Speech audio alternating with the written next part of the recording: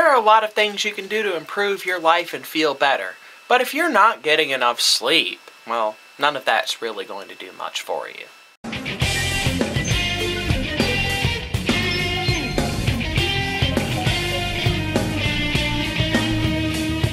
Sleep is essential. And I know that that sounds dumb, right? Like, who says that? Everyone knows you need to sleep.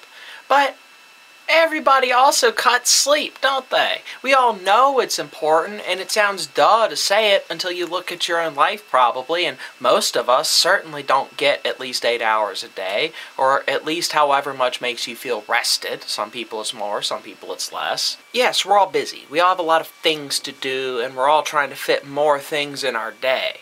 But, but, but so fundamental. Stop everything for a moment. No matter how busy you are, no matter what you're doing, stop for a moment and get some sleep. Really, you'll thank me for it. I and sleep have not always gotten along so well. Like I've done many a stint of no sleep for a day, two days. Sometimes I did it for once for about seven. I don't ever recommend that ever, ever, ever. Um, but you need it. You absolutely need it. And if you cut even a couple hours, well, I can only get by on five hours of sleep. For some people, that's true. But for most of us, you're doing yourself a great disservice cutting off even those two hours you're going to start feeling. You're going to start dragging. Your cognizant abilities will go down. You will be less aware of your surroundings. Your reaction speed will be slowed, and you'll just feel like shit. Especially after a couple days of cutting sleep or a day or two of no sleep, you'll start to really feel it. And I'm as guilty of it as, as anybody. Like, I've done it many times, as I said. And I felt it and paid for it every single time. It's more, though, than just that whole I feel tired and I feel like crap. No, it's a more long term thing. Scientific studies have been done, numerous ones, pointing out how bad it is for you to lose sleep or to just cut it or get less than you're supposed to. Everything from weakening your immune system to general wear and tear on the whole body being increased. Sleep is I can't even stress it enough how essential it is. It's where the body does most of its repair work after you've beaten it up over the course of your day. It's where your brain refreshes itself through sleeping, you know, dreams. For as little as we know about what dreams do, we know that it's required for the brain to remain sane. Like, the core of this is REM sleep, the sleep that is the deepest level of it. And it, that only accounts for a few hours of your sleep every night. But you need the rest of that sleep to encourage REM sleep, to get into the cycle of it, and to let your body just rest and recuperate. And again, all of this seems so obvious, of course, but every one of us, I dare say, has done it at least once where we've gone without sleep a day or we cut sleep.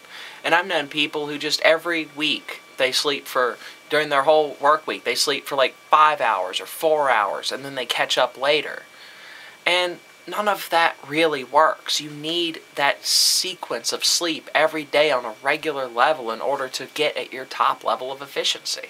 There's no real negotiating with this, no going around it. You will begin to fail mentally, physically, all of it if you don't have enough sleep. I cannot stress that enough. I've seen it going to conventions. I've seen it just hanging out with people. When you cut sleep for more than a little bit, you might think you've still got it, but it's almost like being drunk. Sure, if you're a little tipsy, you don't think your reaction speed is affected and all of that, but it is. Same sort of thing. You might not notice it, but it's there. Other people will notice it. And quite honestly, if you're about three days in on no sleep, don't you might just want to isolate yourself because you're going to start gibbering, not making sense. You're going to start forgetting everything. It's it's not pleasant. So this is my advisement to you people, the viewers. Catch some more sleep. Get enough. Don't put yourself through that. I know it feels like you could get more done and all of that, but it, it's not worth it. The toll it takes on you, it's really just not worth it. So, when you feel tired and you can sleep, get the sleep. Get enough sleep. And that will be one major step towards getting a healthier life. You'll feel better. You'll think better. It's just good for you all around. I can't stress it enough. As simple as it is, just get enough sleep every day, and you'll find that, well, you probably feel quite a bit better. Just something to think about.